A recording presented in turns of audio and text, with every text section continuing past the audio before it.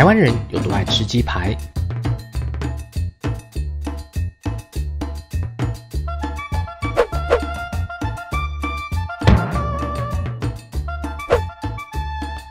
你知道不同部位的鸡肉在口感、营养、用途上究竟有什么样子的差异吗？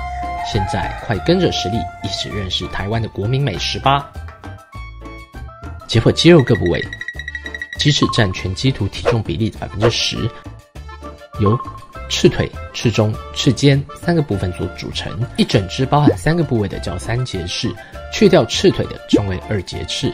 二节翅有着丰富的胶质与脂肪，味道浓厚。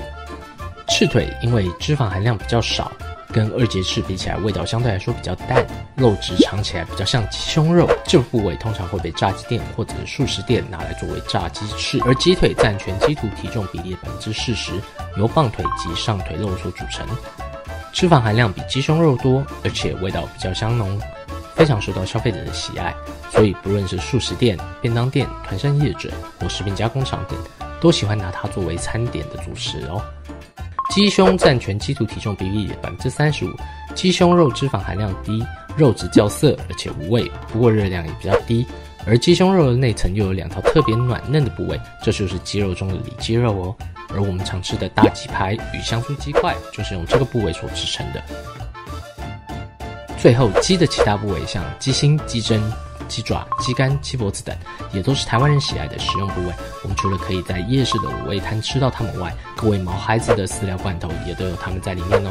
一只鸡可真的是从头到脚一点都不剩呢。看完鸡肉的各部位后，我们再来看看令人垂涎的鸡肉的一生吧。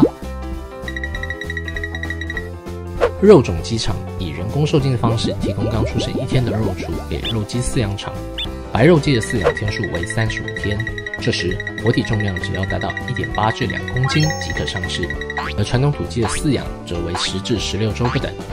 再来就是进入电宰场，第一步泄情，有些屠宰场会先让鸡只进入蓝光室稳定鸡只情绪。第二步抓鸡吊挂，第三步电极放血，第四步烫毛脱毛，第五步切爪，不过有色鸡是不切爪的哦。第六步掏肛开腹，第七步。兽医检查屠体，第八步冷却，第九步分切加工，最后就是包装除运了。台湾每年生产约五十五万公吨的鸡肉，相当于每年有二十八只哥吉拉重量的鸡肉产出。台湾人究竟有多爱吃鸡呢？二零一五年，台湾人的平均消费量为三十一公斤，相当于吃进了一位小学生的重量。